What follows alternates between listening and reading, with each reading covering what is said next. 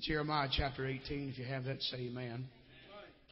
It's a privilege to have all these pastors and preachers, their wives, churches. Just God bless you tonight.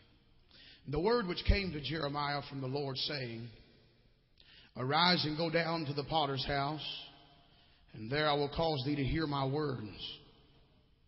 Then I went down to the potter's house, and behold, he wrought a work on the wheels. And the vessel that he made of clay was marred in the hand of the potter. So he made it again another vessel. Somebody say he made it again. As it seemed good to the potter to make it. Let's read verse 4 tonight in concert aloud, if you would. Let the devil know we're here. Verse 4. And the vessel that he made of clay was marred in the hand of the potter. So he made it again another vessel as it seemed good to the potter to make it. I want to preach tonight on the gospel of the second chance. Lift your hands and pray for us. Father, we.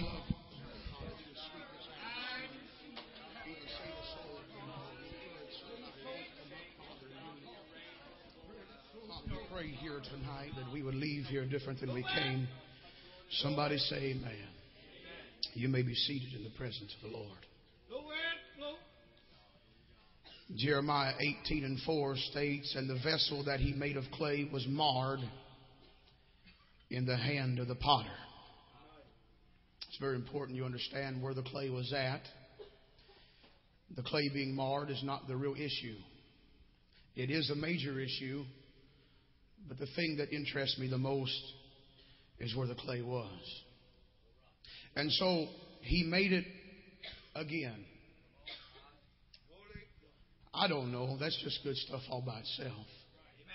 And probably could give the altar call now. But I have a few things that I need to say. Apostle Paul said in Romans chapter 9, verse 21, Hath not the potter power over the clay? Hath not the potter power over the clay of the same lump to make one vessel unto honor and another unto dishonor? It's a rhetorical question. The answer is yes. He does have the power over the clay. If there's a lesson taught tonight more than another Jeremiah's story of the potter and the wheel, I believe that it is the rightful and indisputable sovereignty of God over the life of everyone that's here in this underneath this tent tonight. When once you get a glimpse or a picture of that potter and the wheel, you never forget it. Jeremiah could not forget it. The apostle Paul could not forget it. And in the chapter, the ninth chapter of the book of Romans, he even told us that God, this great potter, has the power and the right over the clay to make it to become whatever he designs it to become. How often we hear the sinner claim that God is cruel or if God is such a God of love, then why does God allow this to happen? Or why does God allow that to happen? Why did God ordain this? and why did God ordain that? As if God makes a vessel only to break it to pieces. Then we see those in the church that if they're not careful, they struggle with the same questions. Now, God doesn't create only to show His power to manipulate and destroy. And this is not what I mean when I say that God is sovereign over his creation. But what I'm trying to say tonight, and I read a quote, a man by the name of uh, Bishop Quayle, he said this, and I liked it. No potter ever lived who would fool away his time making cups to break. If a human potter knows too much to make a cup for the satisfaction of dashing it to pieces upon the floor, how much more shall the potter who makes the cup called human life know too much and have too much wisdom to break it? I hope you're with me tonight. Some here might say the analogy is the analogy is not accurate, Pastor Lamb, because Jeremiah's clay is dead. It has no will of its own to choose. The potter may do to it as he as he wishes, and the clay cannot refuse or resist the, the, the potter's hand. And you may you may reason with me and say, but I do. I have a will, and I can resist the hand of the potter and I can, I can fight and I, I don't have to yield to the hands of the potter. And I know that this is true. And so tonight we stand between two horns of, uh, of an old uh, theological dilemma. Uh, are we free will moral agents tonight, or is the Calvinist view of predestination accurate? I mean, as the clay, do we have uh, is God totally in, con- in, control over the clay, or does the, what the, does the, the, the manner in which the clay responds to the potter is that what determines and what dictates what the clay becomes? And so they're very vital and very important questions tonight. Does God totally control us? Does God totally dictate the clay upon the wheel? Or does God give us a desire and, and, and, a choice to do as we, as we want to? I see truth in both of these statements tonight. I don't mean to compromise.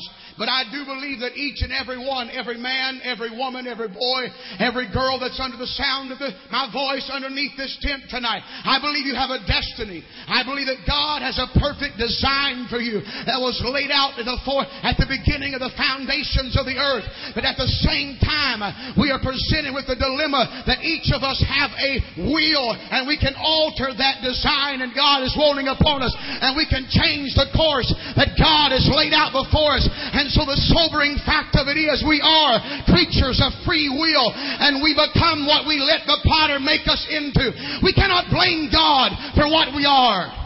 We cannot blame God for what happens in our life because God has plotted and planned the course so perfect that if we would only yield to His hands and yield to His plan, we would be exactly where He called us to be, exactly the, the exact right place and right time, and we would not have to worry about where we are tonight. I'd like for you to help me, but you don't have to. He already is. Amen. I would like to think that when Christ saved me, that I forfeited all my rights. I would like to think that. I would like to think that I am bound tonight by a contract that states that I must serve Him the rest of my life. Yet the dilemma is still present because I could at any time void the contract by being careless with my soul. Brothers and sisters, what we become will be determined by our submission or lack of submission to the hands of the divine potter of heaven. So the sobering truth that we're going to have to understand is when it's all said and done, and usually there's more said than done, that is that you can't blame the preacher, and that you can't blame your mama, and you can't blame grandpa, and I don't care how many times you were mistreated by your uncle, you can't blame him neither. Because you're still going to have to make up your mind to let God be God. I wish you'd say amen tonight. Amen. It's because you are a free willed moral agent. It is because you are free and that you can choose and that you have been choosing for years is the reason why I felt the Spirit prompt me to take you down to the potter's house and let you see how he works upon the wheel as he does what he does best. Sometimes I pray and I say, God, just do what you do best and be God in my life. If we would allow him to be God, he would be God and we would not have to worry about what's going on in our lives. My mind cannot help tonight but think and wonder upon the past upon that thing that happened in your life back yonder somewhere while the potter was busy with you upon the wheel. Listen to me. I'd like to preach if God will help me. I want to talk to you about that heartbreak, that disappointment, that letdown that you're having such a struggle forgetting about. That thing that happened somewhere in the past that you come to that same place over and over and you feel like you got the victory and you shouted at revival. But as soon as the meeting was over, something came that same issue and you fought it again and you get into a place you're afraid to go back to the pastor because he's going to say it's the same thing over and over. But I didn't come to talk about the pastor tonight. I didn't come to talk about the pastor's wife. I came to talk about the clay's relationship unto the potter, a potter named Jesus Christ who knows all about it tonight. Amen. Jeremiah was pretty much discouraged over Israel. He was about to give up on them And he thought that God had done everything in his power to help them. And he felt like Israel was at a place of hopelessness. Now the Bible lets us realize and see as we open the book and we read Jeremiah that he was at his wit's end. And as he got there, God told him, I want you to go down to the pottery. I want you to go down to the potter's house. And here he saw a potter busy at his wheel shaping a vessel. The wheel did not revolve as a modern day one would, ran by a belt, a motorized contraption with electricity skimming off the building.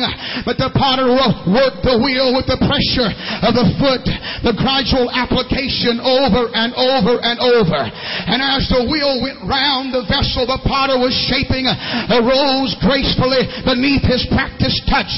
And just as it was apparently finished, and Jeremiah the prophet began to look upon the vessel, he was very pleasing to Jeremiah, but something very strange happened. Exactly what happened, I cannot tell you, but the Bible says that the vessel was marred in the potter's hand. Now I can accept it very easily as I walk through the potter's field and see the discarded lumps of clay. As I walk through a field that's of dirt and I see a, a clay with Mars in it. And it blows my mind, saints of God, when I see the potter with clay in his hands and he's working upon the clay. But yet the mar, the, the, the clay is marred inside the potter's hands. And so we see the potter does something very interesting uh, with the clay. And I want you to watch tonight. It's so very important. I believe God will change somebody tonight. If you'll just get in here and help me a little while. I cannot tell you exactly what happened. Whether it broke and fell to pieces on the wheel, or whether the potter examined it with his critical eye and saw some defect in its shape, we cannot tell. Oh, but the Bible does tell us that it was marred and the potter made it again. somebody say, make me again, Jesus. Jeremiah thought to himself, the potter will reject this vessel. The potter will reject that crumbled clay. He will reject the imperfect vase. But instead of rejecting the marred vessel, he stooped down and picked up the broken pieces and then crushed the disappointing vessel into a shapeless lump as it was before and putting it once more upon the wheel, he made it again. I said he made it again. When Jeremiah said, said it's over. And Jeremiah said he's going to throw it out the window. The potter reached down and said, I'm not done yet. I'm not done yet. Just because you're a mess, I'm not. Because you're messed up, I'm not. Because you're at a dead end, I'm not. Because you messed the design up, I'm not. He said, I'm going to reach down. I'm going to pick the clay back up and I'm going to put it back on the wheel. Amen. He could have cast it away. He could have threw it into the trash. He could have thrown it out through his little window into the potter's field. He could have allowed it to stand in its imperfect form, but he did not. He would not. He was satisfied only when he had put his best into it and brought out of the clay its highest possibilities. And this is exactly what the divine potter wants to do for your life and for my life in this service tonight. God has a plan, I believe, for every life. He alone understands the possibilities within us. And what he really wants is the best for each of us. The pity of it is, is that the clay too often sets its will against the will of the one who turns the wheel to fashion it according to his own good pleasure. Now, perhaps there's one here tonight suffering uh, from disappointment. Perhaps your life is shaped in a way that you had hoped it never would. Has the path your own been littered with the wrecks of broken promises? Uh, perhaps around the potter's wheel uh, lie the scattered fragments of broken dreams and torn up resolutions, shattered ideals that were yours in other days. And so you're here and you're you're discouraged and you're disappointed and your heart broken and you feel like there's no hope and you feel like you're in a place of helplessness. And so you're on the potter's wheel but you're marred in his hands. You may feel that the struggle eh, you're in is almost hopeless. And so you want to be a vessel of honor but you take one step forward and you push back two. And so we see you. You're on the potter's wheel but you're marred even though you're in his hands and you say, Brother Lamb, I go to church and I pay my tithe, but I'm struggling with this issue. I'm having a hard time dealing. I'm in his hands, but I'm marred. Aren't you glad I'm not done preaching yet? Aren't you glad that the potter doesn't leave the clay laying on the ground? Would you help me, Holy Ghost? I've never talked to a potter about this matter. But I can think of three things in my own feeble thinking that could be wrong with a lump of clay that would cause it to be marred in the Master's hands. I believe there's going to be some of you here that's going to recognize at least one, maybe a couple of these. I pray for you. I pray for you. James 4 and 7 states, Submit yourselves therefore to God. Resist the devil and he will flee. And so the writer instructs us to submit to the hands of the potter.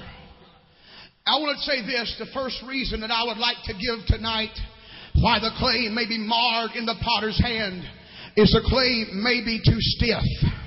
Stay with me that too often the clay sets itself against the efforts of the potter and because of its resistance, it fails to take in the detail and the shape that the potter meant it to have and which would have made it a vessel fit for the king's palace. Now maybe this is the reason some of you are struggling so greatly. You have set your will against his will. Perhaps you have forgotten that the only peace that you're going to ever have is when you stand in God's perfect will and you yield to God's perfect plan in your life. If you aren't willing to yield your will to the will of God, to abandon yourself to Him without reserve to lie pliable in His hands, yours is going to be a marred and misshapen life that's going to come from off the wheel. Now I know of those that want God's will in their life, but they're not willing to do it God's way. And they want to, they want to take it their way. And they want to do it in whatsoever fashion they desire. But sir, ma'am, you better hope that God overrides your ideas.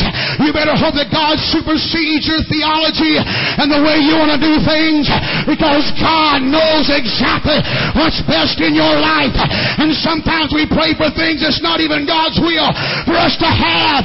And God loves us so much, He says, I can't give you that because if I give you that, you can't have this. And when you get this, it's going to change your life. And so I pray that you'll yield your vessel unto God tonight. Hallelujah. There are those that will never find peace until they apologize for some of the things that they've said about some of them around them. You're here tonight. I'm talking to you. I'm not down the road to the Baptist church or the, at the Presbyterian. I'm, I'm at the tent revival tonight. They spoke in this house, you're going to split hell wide open if you don't make some apologies and get some things right. Here's where I want to apply this because the Holy Ghost deals with our heart to make things right. God deals with our heart to lay things down. But we resist the potter and we won't take the shape and we won't take the form that God has designed in our life. And so we have become stiff. There are young men underneath this, underneath this tent, under the sound of my voice, that have been called to preach the gospel, but they will not yield to the potter. You've been, you, you give every excuse you can think of, but in the meantime, hell, it fills up tonight. There's young ladies in this house that ought to be on a mission field somewhere, uh, doing the work of God, but you won't go, you won't yield, and hell feels. There's preachers in the sound of my voice who would be my, come on now, say amen. Hallelujah. You ought to be much further than what you are, but you won't conform to the image that the potter has got for you. You will not pray. He moves you to pray, you won't pray. He moves you to fast, you won't fast. You won't knock a door. You won't do anything for God, and you're resisting the hands of the potter. Amen. Brothers, let us not be stiff necked preachers that refuse to yield to the hands. Amen. Second thing that I'd like to present tonight is that the clay might have too little consistency. The mixture might be too dry and lack adhesiveness. Now in the first case, the vessel would not take form. But in the second case, it takes form easily, but it will not retain its form. I hope you understand me tonight. I know I'm a young preacher and say what you will. And I've been around long enough to know that too often Men trifle with God's grace and goodness. Men make vows and resolutions are made, but they're made with what seems no intention to ever keep them. Men that are like Reuben, unstable as water. When Reuben should have received the greatest blessing from his father Jacob, I want you to hear the prophecy that was laid upon Reuben. Reuben, thou art my firstborn. Sounds good. My might and the beginning of my strength. The excellency of dignity and the excellency of power. Pretty good. Say amen. Verse 4 unstable as water. Thou shalt not excel. Reuben had the ability, but he lacked the stability. I just come to preach to you tonight, I didn't come to tickle your ears. Just going to preach a little while and go home. You see, you got to shape up, my friend. God has spoken into your heart, but tomorrow you fall right back into the same place. You feel encouraged to pray tonight, but tomorrow you fall back into prayerlessness. And you're one of them that says it seems that every time I get ahead, the devil knocks me back. You see, you got conformed and you took shape, but you didn't hold the shape. And you fell right back to where you were. And so you spin your wheels and you've been years in the same place you're at right now. And you won't take shape. And you've been serving the Lord for years, but won't take shape. You ought to be teaching a Sunday school class. You ought to be pastoring a church somewhere. Ought to be on a mission field somewhere. But you just won't take shape. And nursing home ministries and prison ministries and all sorts of things that can be done in the house of God. But you just will not take form. The Holy Ghost moves on you and you stand up and make great boasts, uh, boasts and promises. But the next day you go right back the same place that you was won't take form.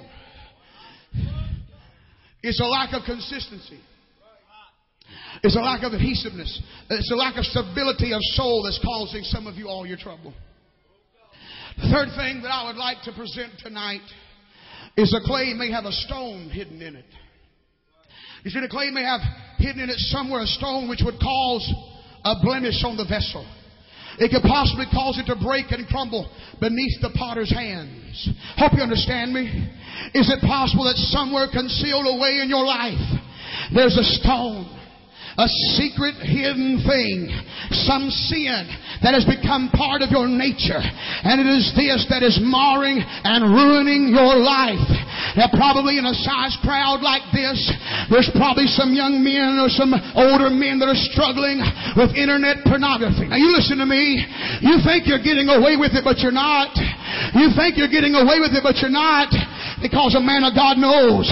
The man of God sees. I couldn't tell you how many times I've walked into the house of God and a man walked in the back door and I'd have to slip over to the pastor after church and say, your man right there is dealing with pornography. And they say, how do you know that? I said, because God showed me. And so whether I know or not, God does know.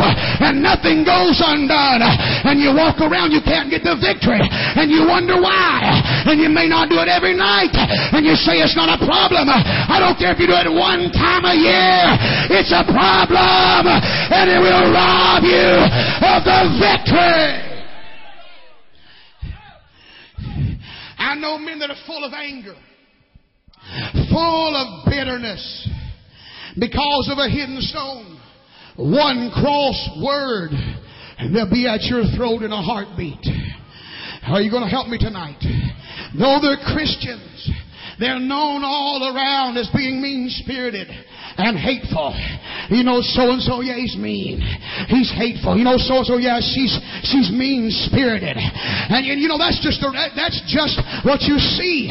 That's just the fruit of the matter. There's an issue inside the heart, and folk come to me and say, "Well, I don't understand. Why are you not getting any closer?" And then you can turn around and listen to them fuss and gripe and murmur and complain and get mad at people and talk and rumor and lie and gossip. You don't got to search anymore. You've got a stone in the vessel and it's causing it to be marred. Can you remember a time when your life was rising to a lovely shape? Fashioned by the thought and the will of the potter himself. But one day there came into your life that awful thing. That one thing. It's like a stone in the potter's clay and work on the vessel as God will. He comes always to that one certain point, the flaw in the clay, that is thwarting the skill of his hand and concern of his heart, and he has to say, It's marred again. He said, I'm not here to try to get any revivals tonight. I, I preach enough as it is. And I could have probably talked Pastor Caraway into preaching tonight. But God spoke to me. And I don't know how you're going to take this, and you may not love Brother Lamb very much when we're done. But God wants to help somebody in this house tonight. Where is the fault? What is it? Possibly only you and the potter knows. Dear brothers and sisters, is that you? Is your life that you hope would rise a beautiful vessel, a marred and broken one tonight? Do you sometimes think that change will never come? Are you losing your desire? But you seemingly can't do anything about it. There's people listening to me right now, Brother Johnson, struggling so bad. They're only here by the skin of their teeth. It took everything they had to come to the house of God tonight. I didn't come to rebuke you, didn't come to rake you over the coals. And I've got a feeling there's some folk here desperate tonight. There's some young people in this house that are desperate tonight who came in here needing a touch of the Master's hand. Some folk in here that have tried to pray and it seemed like your prayers are hitting the ceiling. And you keep going to church, you keep smiling, you keep going because daddy's a pastor or uncle's a pastor. You keep going because that's what everybody else is doing. But down inside you're dying. Down inside there's some things going wrong and you're trying to get up here, but you just can't get your foot up. And it seems like you're at a dead end, and it's a hopeless situation. You don't got to say, man. You to shake your head or wink at me. I know who I'm talking to, because I know God has got your number tonight. But it's not a hopeless case. It's not a hopeless case. And I realize that some of us here tonight are marred in the potter's hand. Oh, but I bring you the story of the potter in the clay, marred and he made it again. Marred, and he made it again. I come to preach to you tonight. I come to preach the gospel of hope, the gospel of a second chance, the gospel of new beginnings, the gospel of starting over. Tonight can be the night. I draw the line. I step across and say from this day forward, I will never be the same again. I read a I read a poem titled The Land of Beginning Again. First verse goes something like this. I wish that there was some wonderful place called the land of beginning again. Where all our mistakes and all our heartaches and all our poor selfish grief could be dropped like a shabby old coat at the door and never put on again. Come on. Some of you are there. You hate yourself. You hate what you've become. And the devil don't make it any better. He got you on the run. Got you thinking that you ain't going to never get up. Got you thinking that you can't sing anymore. You can't testify anymore. He's got pastors' wives thinking that it's, it's, not worth it anymore. He's got preachers in his house wondering, is it worth it anymore? Is, am I really in God's will? These young married couples here tonight saying, God, is it going to ever change? Is anything going to ever change for us? And we say, Lord, is there really a place of new beginnings? But Brother Lamb knows of such a place. I read about it in the Word of God. The land of new beginnings. Would you like to know how to reach that place? If you do, you'll have to go by the way of the potter and the way of the wheel.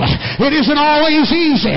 There is a possibility tonight for you to come down to an old-fashioned altar and lay it all on the line right there and say, God, I know I've messed up. God, I know I'm not prayed like I needed to. God, I know I'm not done like I needed to. But that was five seconds ago. And Brother Lamb said I can start over. Brother Lamb preached to me the gospel of the second chance. He's a God of a turnaround. You can come in and get a turnaround tonight if you really want one.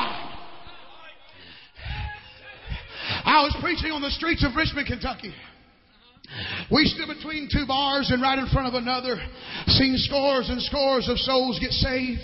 Prostitutes, drug addicts, homosexuals. I could not name you the motley assortment of people that gave their lives to Christ right out there on them streets. I remember one distinct night, if God will give me a right mind, I'll never forget it, Pastor Caraway. A young man made his way across the street from a, from a bar across a, a road right there, and he had, I think, a, a, a, cup of soda and a thing of peanuts in his hand. I can remember so vividly. And he said, Preacher man, quote me some scriptures. And I tried John 3.16. He said, I know that one. Romans 10 and 9, he knew the basics. I could tell the Holy Ghost was upon him. Conviction was heavy.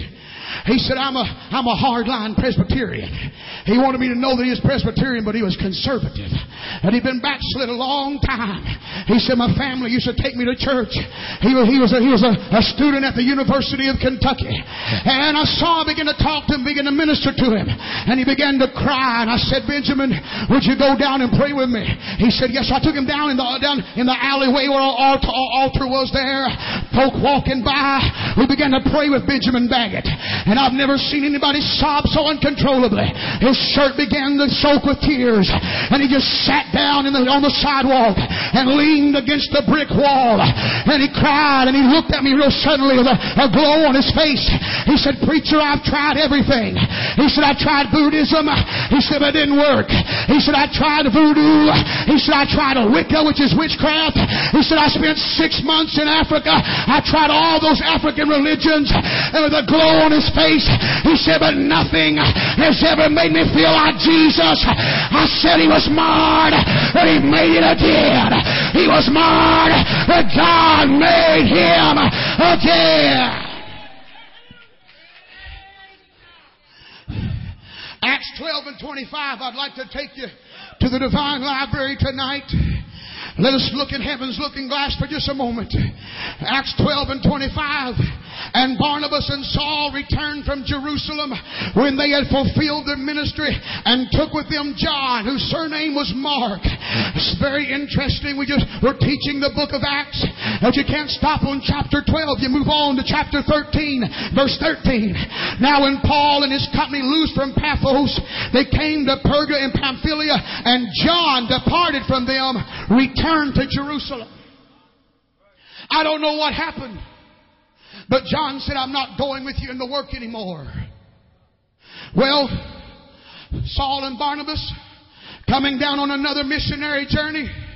Barnabas said, Saul, I want to go get John Mark. In verse, chapter 15, verse 37, 38. And Barnabas determined to take with them John, whose surname was Mark. But Paul thought it not good to take him with them, who departed from them in Pamphylia and went not with them to the work. And so now we see the man of God, the apostle Paul, saying, no, I'm not taking John Mark with me. John Mark doesn't have what it takes. John Mark isn't a man enough. He turned and walked out on us back there. I don't know what happened to John Mark, but John Mark lost hold. I don't know what happened to John Mark, but he lost grip on it. He was doing well. He was walking with the men of God. But something happened in his life that made John Mark turn around. And so we see a vessel that's in the potter's hand. But now we're seeing revealed to us that John Mark had a mar in his life. You say whatever you want to. You, I've heard it preached both ways. Paul's right, Barnabas right. I've been Paul. I'd have said, you stay, you tell him to stay home until he gets things right. I, the, the, the work of God is not to be trifled with. And so Paul took off. Now listen, I don't know how long the space passed, but Paul's locked down in a prison. He's getting ready to die. And he pulls out his pen and he pulls out a piece of paper. And at the top of the top of the letter, he says, Dear Timothy, I write to you the second time. And he tells him his problem in chapter 4, verse 11. He says, Timothy, only Luke is with me. But listen what he says to Luke, uh, to, what he says to Timothy. He says, Take Mark and bring him with thee, for he is profitable for me for the ministry. Did you hear what I said? I mean, somewhere between point A and point B, the, the potter picked John Mark back up and said, I know you're marred, son, but I'm going to make you into another vessel. It's the gospel of the second chance. Who can forget about Samson, God's strong man?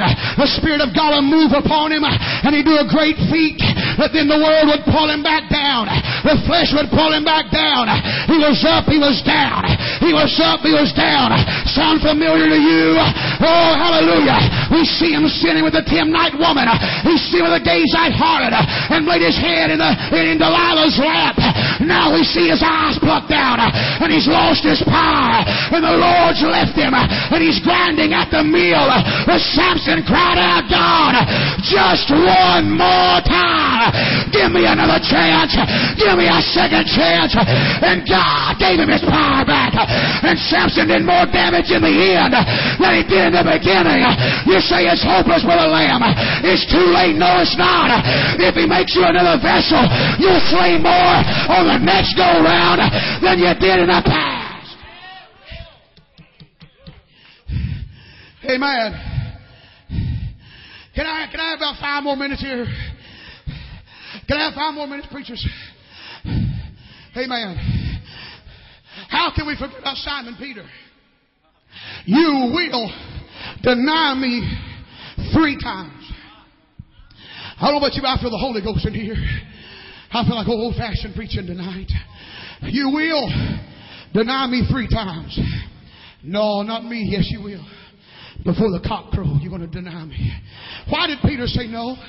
Why was Peter so vehement about not denying Christ? Because he was in his hands. And, and, and, we think that when we're in His hands, we can never mess up. And if we mess up, that means we're not in His hands. The devil lies to you. That devil is a liar. Because you've got a mar doesn't mean you're not in His hands. Because the vessel can be marred. I'm not talking about gross sin. I'm not talking about just falling out in plumb sin. But you know exactly what I'm talking about. Uh, there are times the enemy rocks your world uh, and says if you were really saved, you wouldn't have just thought that. If you were really saved, you wouldn't have just said that. I'm not saying he was right, but don't you let the devil tell you you're not in the potter's hands. Because if he can get you out of the potter's hands, you'll never get changed. You'll never get rearranged. Just hold on to Jesus and come back down to the potter's house tonight. Simon Peter at the high priest's hall warming himself by the devil's fireplace three times. I don't know him. I don't know him. And he began to curse the third time. I've never heard of the man. Oh, the cock crowed. Luke tells us a little piece of the story. The first time I noticed it, I wept like a baby. The Bible said that Jesus and, Luke, and Peter locked eyes. Jesus looked at Peter. He didn't preach him a message with his mouth, but in his eyes, with those eyes of love, he told Peter, Peter, I'm giving you a gospel of a second chance. And Peter went to a field and wept bitterly. We find him uh, gathered in the upper room there with those other disciples. And Mary made her way down And she said, Jesus came to me and told me to go tell his disciples. And Peter thought, not me. And then she said, and Peter, and Peter, don't you tell me that you can't get back up when you fall down. He'll lift up a righteous man uh, seven times. You can get a turnaround in this service tonight. Amen. Holy Ghost, help us. Would you lift your hands tonight?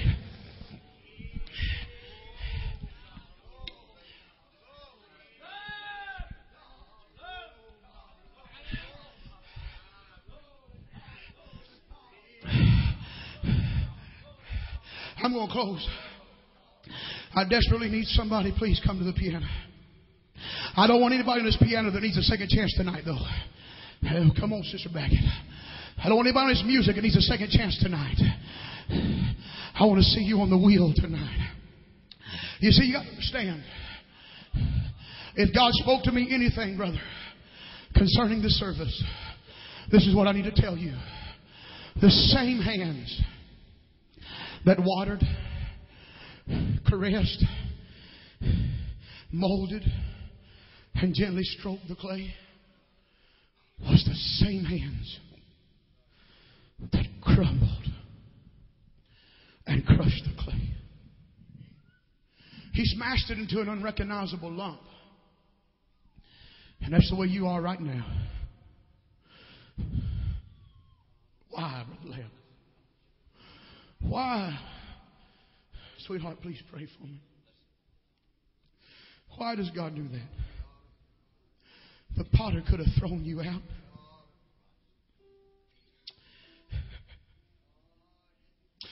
He could have thrown you into the trash. He could have threw you out that window. But even worse, he could leave you just like you. But when I look in the mirror, my heart cries, God, change me.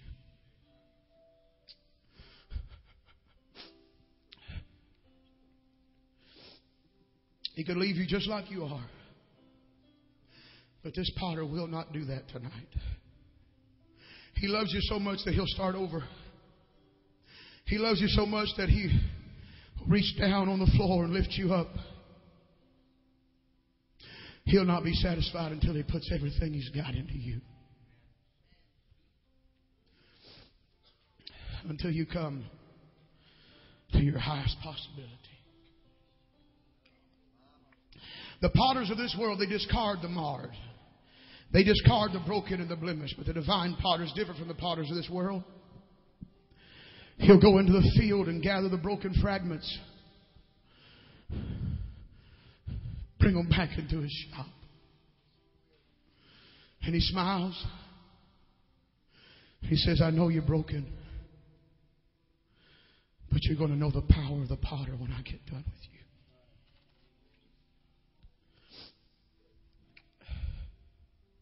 Would you stand with me across the house? Just for a moment, I want us to look away from the wheel and the clay. And I want to look on the shelf at the potter's house. On that shelf, there's beautiful vessels, vessels of honor, vessels of glory and usefulness.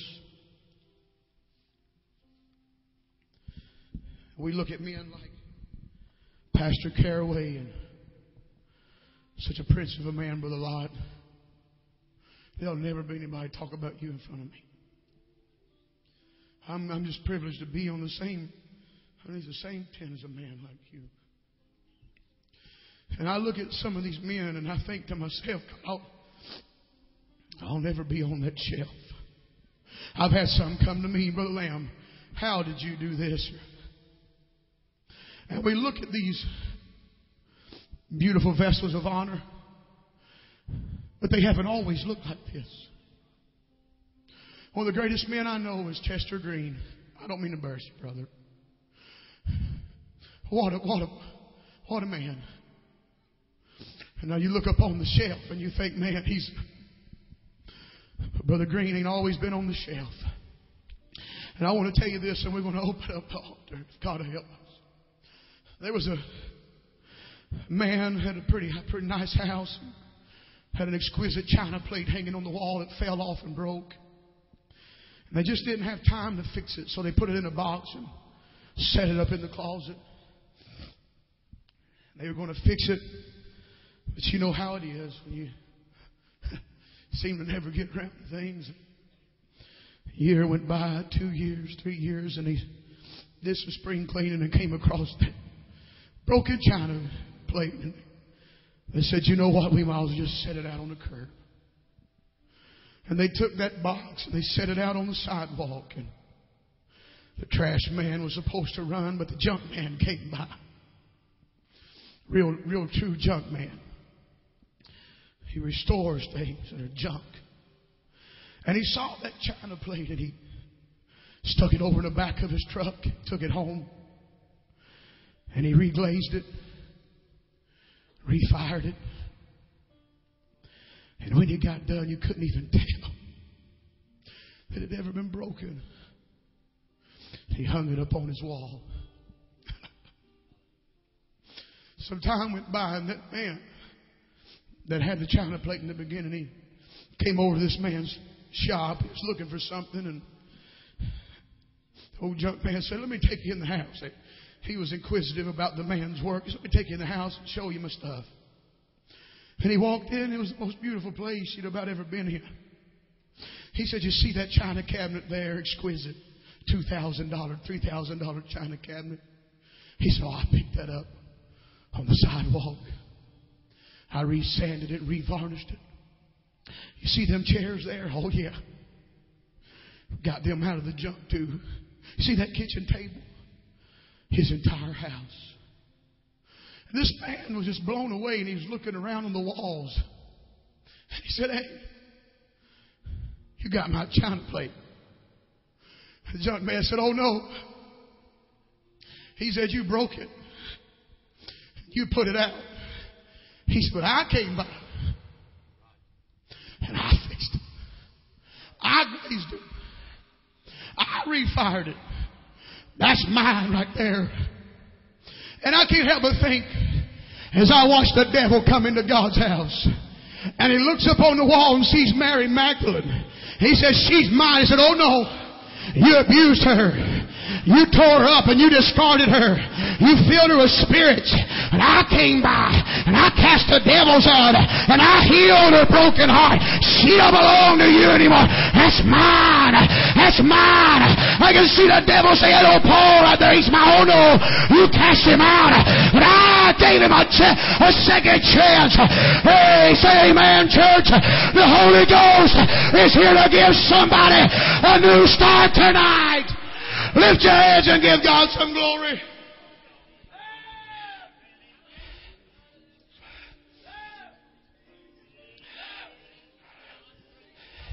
He'll put the pieces back together. I said he'll put the pieces of your life back together. Oh, I feel the sweet spirit of God here tonight. Before I open this altar up, God spoke to me. There's at least one young man in this house that God has called to preach, but you have not accepted the call. Maybe more, but God spoke to me distinctly. And I need to give you just a moment here. A calling to preach in your life, but you will not accept it. You're pushing it off, pushing it off, pushing it off. If that's you right now, step out of those seats, come down here in the front. We're going to lay hands on you. I'm not going to tarry long. I'm just giving you a shot. If that's you, I want you to step out of there and come right here and let's pray for you. Amen. How many needs a second chance tonight? Well, I guess I'll have to ask you to bow your heads with me, right? Close your eyes. I guess that's I guess that's what I'm supposed to do. Well, if you're embarrassed, let's bow our heads. But when I came tonight, I came even thinking that I might not even be in his hands. I came tonight thinking I've got a mar. There's no way that I can be in God's hands. But I come to debate you tonight. I come to argue with you, reason with your mind. He doesn't throw away the clay. You came here tonight needing a move of God. You can have it right here in this service. Please, I'd like to, I'm begging you, every head bowed. That's you, I want you to quickly lift your hand and put it right back down. I need a second chance tonight, Brother Lamb. Lift your hand. Hands. Bless that hand, young lady. I see that hand. I see that hand. There's more. There's dozens of you here tonight. There's dozens of you here tonight that need a second chance. I want to pray for you. And I want to give you an opportunity to pray. Father, I humbly come before you tonight. I've done my very best. No one can touch us like you can. There was hands all across this building, Lord. Some wouldn't lift their hand. So, so downtrodden, they wouldn't even lift their hand. The devil has convinced some sinners in this house that they can't be saved. He's convinced some saints in this house that this is the way it's got to always be. But God, if that's true, I could have preached other things, but why did you tell me to preach this to them? It's because I'm a living example that I've fallen, I've, I've broken, I've been on the floor, but you always pick me up. And you're here to pick somebody else up tonight. In Jesus' name. In Jesus' name. I need to tarry just for a moment more, oh God. Oh God. Come up here in this front let us pray for you. You needing it so bad right now. Get up here right now in Jesus' name. Pastor Carey, Pastor Lot, would you get that anointing oil and get ready? Come on. Come on. Tonight's your night. Tonight's your night. There's others. God bless this strong, strong woman right here. It takes guts. It takes guts to step out like that. There's others in this house. I need a second chance tonight. In the mighty name, some of you need one.